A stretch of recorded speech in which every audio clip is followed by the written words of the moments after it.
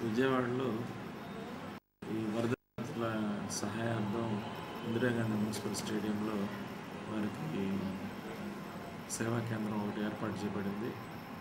ఈ కేంద్రం ప్రభుత్వ తరంగా ఏర్పాటు చేసిన ఇక్కడ ఉన్నటువంటి రెండు వేల ఎనిమిది వందల మందికి సుమారు వారం రోజుల పాటు ఇక్కడ వారికి భోజన సదుపాయాలు ఉదయం అల్పాహారము అట్లాగే మధ్యాహ్న భోజనము రాత్రి భోజనంతో కలిసి రెండు వేల ఎనిమిది వందల మందికి మన గోకరాజ్ గంగరాజ్ గారు ఈ భోజన సదుపాయాలన్నీ ఏర్పాటు చేయడం.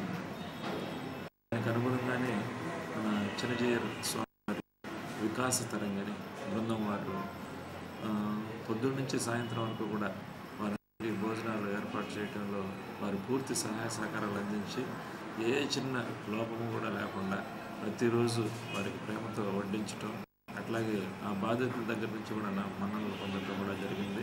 ఇవన్నీ కూడా మేము వారం రోజుల నుంచి మన ఇందిరాగాంధీ స్టేడియంలో చూస్తూ వచ్చాము.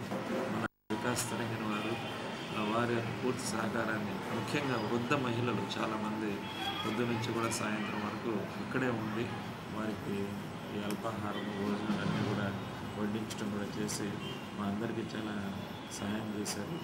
వారందరికీ కూడా మేము ప్రభుత్వం తరఫున కంగ్రాచులేషన్స్ చెప్తున్నాం